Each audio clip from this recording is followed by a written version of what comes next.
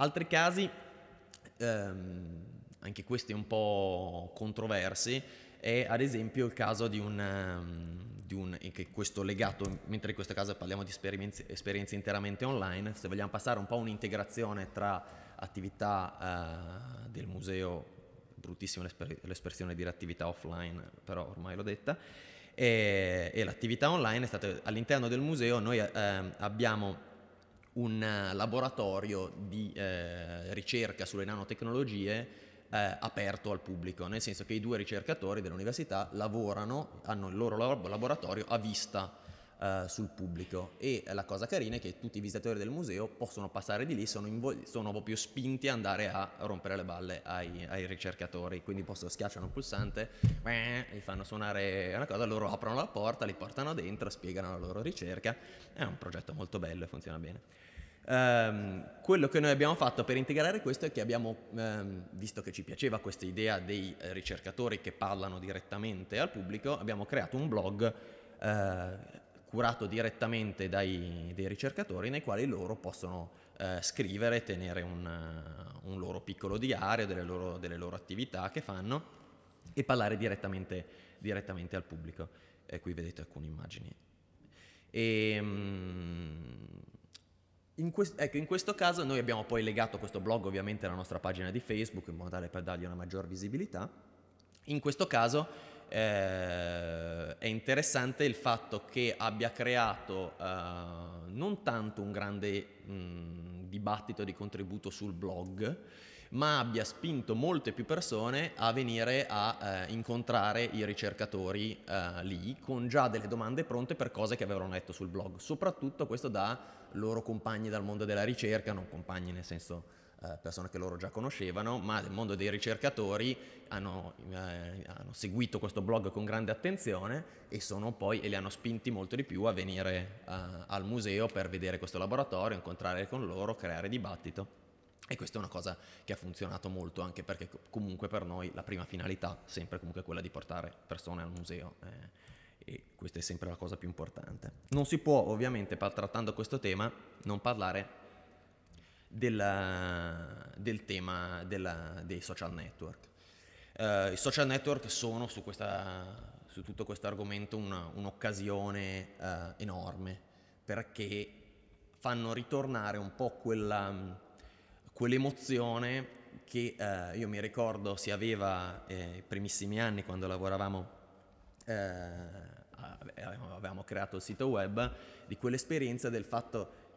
che ai tempi, so che oggi suona strano perché sono passati così tanti anni che sembra, sembra strano, ma eh, il mettere semplicemente un indirizzo email del museo a disposizione dei visitatori che potessero scrivere e fare delle domande era una cosa che aveva eh, rotto un muro, nel senso che molti visitatori ci scrivevano all'indirizzo mail del museo dicendo che bello che finalmente possiamo parlare direttamente a un'istituzione, cosa che ai tempi fino allora non era una cosa molto fattibile perché una persona si andava al museo, parlava con la persona all'ingresso, telefonava, parlava con un centralino, soprattutto per un'istituzione molto grossa come la nostra. E ai tempi questa emozione del dire avere un'email e la persona può scrivere l'email era una cosa che era piaciuta moltissimo agli utenti. Questa emozione un po' si ricrea con i social network. In, ovviamente si sono spostati gli anni, spostato il contesto e, soprattutto cambiate anche le, eh, le possibilità che vengono date da questi, da questi strumenti.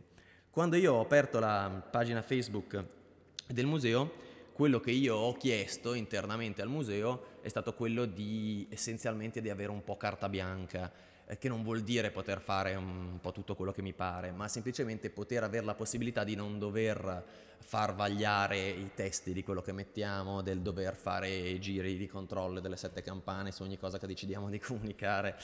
eh, perché se perdi l'immediatezza su questi strumenti hai perso tutto, cioè diventa semplicemente un canale in più nel quale le stesse cose che metti sul sito le metti lì e visto che ovviamente quando noi facciamo una pagina di presentazione di una nuova mostra, cose di questo tipo, ovviamente il mio ufficio non si inventa nulla, eh, lavoriamo a stretto contatto con i curatori, con chi si occupa eh, dell'ufficio stampa, e crea questi materiali. Nel caso dei social network io ho detto se eh, mi mettete questo vincolo perdiamo tutta un po' quell'immediatezza di possibilità di comunicazione eh, che questo strumento ci dà. Mm, questo mi è stato dato e, e ne è nato un, in verità un esperimento abbastanza interessante. Eh, noi abbiamo, io cerco di non essere mai molto martellante eh, sul, su Facebook, di non fare tantissimi aggiornamenti per non dare fastidio, cerchiamo di sfruttarlo un, un po' per cercare appunto di creare un coinvolgimento par- da parte dei nostri visitatori su alcune delle nostre, delle nostre attività. Uh, per fare un esempio, noi a- fatto, mm, abbiamo avuto l'anniversario dell'arrivo del sottomarino, eh, del sottomarino a Milano un anno fa, non mi ricordo, sì, circa un anno fa, e abbiamo fatto tutta una serie di attività su Facebook nel quale eh, chiedevamo ai visitatori eh, di darci un loro contributo. E un esempio di questo era, erano dei piccoli concorsi nei quali uno di questi avevamo fatto un po' come il Toti di Amelie, nel senso che ognuno si poteva stampare una, una sagoma del sottomarino e avevano detto mandateci delle foto facendo viaggiare il sottomarino un po' a vostra, cioè il sottomarino licantropo, la luna, e, e la gente ci ha, pubblicato sotto coperta, esatto. E, il divieto di sosta e così via. E noi poi abbiamo eh, premiato ovviamente i, chi, eh, tre di quelli che ci sono piaciuti di più, li abbiamo premiati. E lo stesso anche uno poteva fare un disegno legato al sottomarino.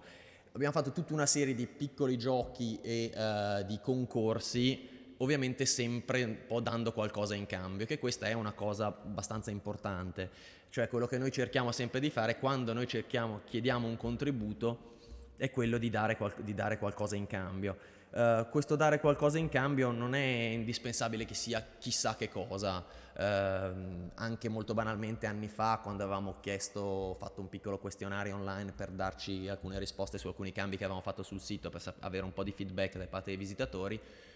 davamo molto banalmente una cosa che ai tempi si usava, oggi sembra totalmente demodé, dei, eh, degli sfondi per il desktop eh, del computer alla fine scaricabili, piccole sciocchezze però per dire io so che se ti chiedo un coinvolgimento qualcosa ti do in cambio. E questo facciamo molto regolarmente su Facebook, molto banalmente dando ingressi omaggio al museo e questo lo facciamo ogni settimana, ogni settimana noi facciamo delle piccole domande online a scelta multipla, le prime due persone che rispondono vincono, vincono una coppia di ingressi omaggio, lo stiamo facendo ad esempio in questo periodo che abbiamo questa mostra sull'alimentazione molto molto bella che vogliamo tanto lanciare eh, noi ogni settimana facciamo una domanda sul tema dell'alimentazione, da domande prese dall'interno della mostra, quindi sul contenuto della mostra, quindi un'occasione anche poi per mettere piccole pillole di contenuto. Le prime due persone che rispondono vincono, vincono del, degli omaggi per entrare. Uh, è un, quello del, del coinvolgimento uh, e quello di far sentire le persone partecipi in questa cosa è un, è un percorso eh, difficile e lungo, anche su Facebook per noi è, cioè anche sui social network per noi è soltanto un percorso all'inizio, perché tant'è ehm, riuscire a sentire veramente tante persone presenti in queste cose non è facile, per dire molto banalmente quando noi facciamo i piccoli test per uh, vincere delle cose t- cioè abbiamo una risposta immediata di tantissime persone, quando chiediamo già qualcosa di più tipo le cose del, del TOTI, foto e il disegno è già molto più difficile riuscire a trovare un coinvolgimento, ma va bene, ci sta, per noi va benissimo così. L'importante è su questo genere di cose quello di esserci, cioè quello di fare spesso e regolarmente delle attività in modo tale che le persone sappiano che regolarmente legato a un certo tema, una nuova cosa che facciamo, ci può anche essere quell'occasione di uh, partecipazione, di scambio, di confronto, perché soprattutto è una delle anime portanti di tutta l'attività del museo. E questa la, alla fine è sempre una cosa indispensabile, nel senso la nostra attività non si discosta mai da quella che è la finalità globale del museo e il museo cerca sempre il coinvolgimimo uh, del pubblico nelle proprie attività, nelle attività all'interno del museo e quindi quello che cerchiamo di fare anche noi. Solo due minuti e chiudo per eh, un'ultima um, cosa sulla quale stiamo lavorando adesso, eh, mi è venuto in mente prima quando si parlava degli, degli, archivi online, noi stiamo lavorando adesso a un, un grosso progetto che all'inizio mi aveva un po' spaventato, eh, su, eh, su, tutto un, un, uno studio, un lavoro di ricerca sugli archivi del museo, il museo ha al suo interno una marea di archivi e documenti del CNR e eh, ci è stato chiesto di dare una restituzione online di questo grosso mole, mole di lavoro e di ricerca. La cosa mi ha un po' spaventato perché erano tematiche molto toste, cioè una cosa è mettere poi un archivio consultabile online per specialisti, un'altra cosa era fare qualcosa che fosse un po' per tutto il pubblico generico, soprattutto perché i temi scelti da, questi, da, da questi lavoro di ricerca erano sul tema della, dello zolfo, ad esempio, e quindi molto del documento che mi era arrivato era sulla storia dello zolfo noi possiamo fare un bellissimo sito sulla storia dello zolfo, potete immaginare che il target sarà molto molto ristretto. Va benissimo, basta decidere che si lavora per un target molto ristretto. Invece ci è stato chiesto di fare una cosa per un target più ampio. Quello che stiamo cercando di fare è quello di spostare un po' il piano di, eh, di approccio a questo progetto, e cioè quello del eh, lavorare soprattutto sul fascino che ha eh, l'immaginario della ricerca sull'archivio, cioè l'idea che eh, il museo abbia avuto per tanti anni un archivio di, di, documenti anche di grande valore che nessuno aveva più studiato e che poi delle persone specialiste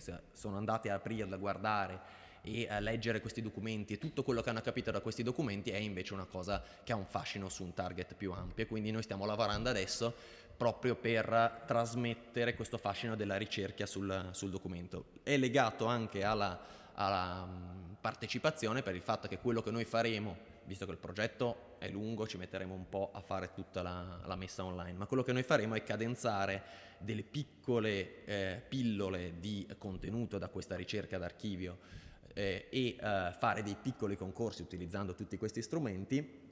di, eh, coinvolgendo il pubblico e chi vincerà questi concorsi avrà potrà venire in un fine settimana a fare un percorso all'interno dell'archivio con i ricercatori che hanno fatto ricerca su quei documenti nel quale proprio verranno aperti i faldoni, fate vedere i documenti storici e il ricercatore spiegherà in che modo si è approcciato a quel documento. E questo ecco, sono quel, quegli esempi di cose, così come su Facebook qualcuno vinceva la visita sul sottomarino in, fatta dal direttore del museo, sono quelle piccole cose nel dire chiedo un coinvolgimento, tu partecipi alla cosa e poi noi ti portiamo anche nel retroscena, entri a far parte un po' della vita del museo, queste sono cose che hanno sempre un'ottima risposta. Grazie mille.